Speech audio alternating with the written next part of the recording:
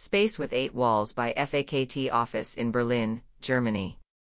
An extension of the existing structure with flowing rooms, blending outside and inside spaces. The idea of only slim wall panels as the formative element was the starting point of the design.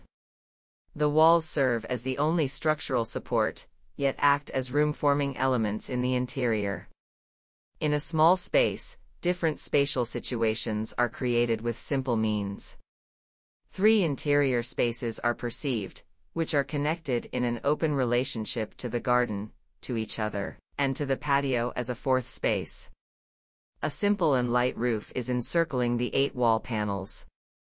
The existing building from the 1960s needed to be extended to create more space for the client's living situation, and at the same time allow space for working from home.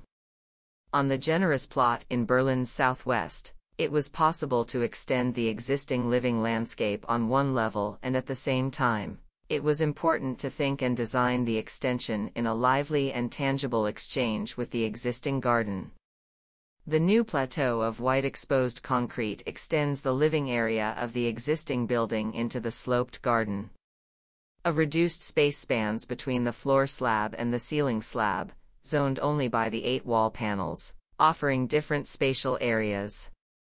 Inside, there is a sequence of three flexible living or working areas, each opening to the outside with a generous sliding glass element. The exterior space consists of a covered terrace facing west and an introverted patio with planting and a courtyard tree. These are strikingly narrow at 50 mm each and reveal their construct of steel profiles only on the narrow side, while the elevation side is clad in slightly reflective anodized aluminium. The light mood and colors of the garden are discreetly reflected into the interior. Architecture that defines, limits, and opens at the same time.